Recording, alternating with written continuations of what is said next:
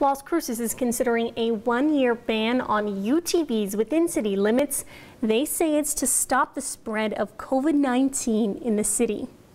Do we put our our public safety officials, police, uh, on the line to stop these individuals needlessly? After the Las Cruces City Council voted to allow UTVs on city streets in March. Mayor Miyagishima said more ATVs have taken to the streets, which have never been allowed under city law. In the age of COVID 19, he suggested a temporary ban on UTVs to not burden police with enforcing the law.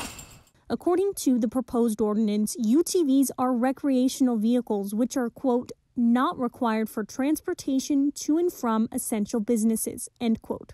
There was also this photo that surfaced on Facebook with defiant UTV riders ignoring social distancing. After that really disappointing and frustrating picture came out, we register them, they're insured just like a regular motor vehicle is. Greg Valles Sr. told me he owns a UTV which has seatbelts, headlights, tail lights, and everything that a registered vehicle needs, he says they should still be allowed on city streets. It makes no sense. You can go to Walmart and there can be 100 people in Walmart, 200 people in Walmart, and any other grocery store.